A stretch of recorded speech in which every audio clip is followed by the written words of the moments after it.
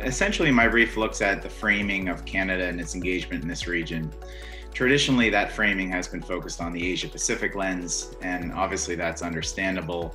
Most of our historic engagement in this region has been focused in that in that framework. Uh, we're a founding member of the Asia Pacific Economic Cooperation, founding member of the Asian Development Bank, and this sort of trade investment lens is how we've looked at this region. But the geoeconomic and geostrategic changes in this region, some of the security challenges, have led many of our uh, partners and allies and friends to rethink about that framing in an Indo Pacific sense.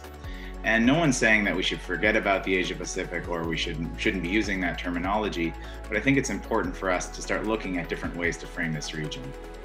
So in my brief, I look uh, at a few of the reasons why we should be adopting an Indo-Pacific approach, but I also, more importantly, look at some of the arguments against this.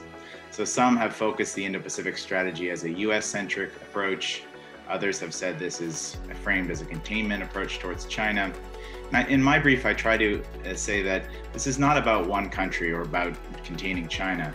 The reason that Canada should be adopting an Indo-Pacific approach is because it's in Canada's strategic interests to adopt an Indo-Pacific approach.